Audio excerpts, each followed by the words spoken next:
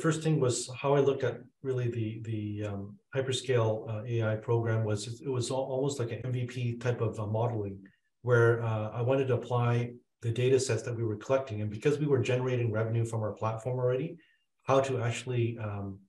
look at the efficiencies of getting that data set and apply a roadmap moving forward for 2023 and 24. Um, the second thing was that that became uh, uh, a model for us to look at further funding from the federal government as well. Because if we're successful in terms of this uh,